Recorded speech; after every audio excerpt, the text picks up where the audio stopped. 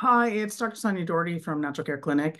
Um, I just wanted to jump on and chat a little bit about the Alpha GPC liquid that we have been using over the past kind of month, but more so in the last couple of weeks since we've got more in.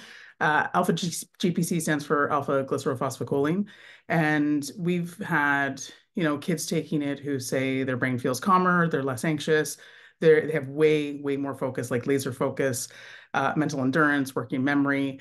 Uh, I've had kids from, you know, kids who have ADHD, kids who have uh, autism, kids who have dyslexia, uh, all reporting benefit.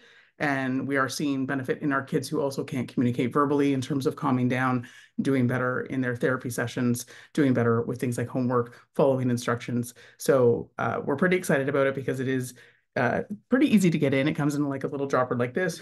Make sure you shake it.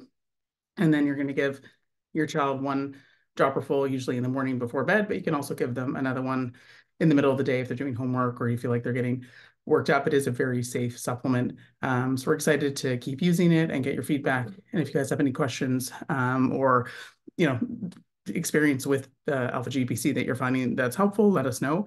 Uh, we're also hearing from parents who are taking that they feel calmer. Uh, some of the parents who've had, you know, PTSD symptoms, because obviously that's a higher rate of diagnosis in parents who do have kids with autism, they're feeling calmer and less anxious as well. So hopefully you guys are finding it helpful, or if you haven't tried uh, the Alpha GPC drops for your family yet, um, you can book with any of us and chat about it, and we can give you more information.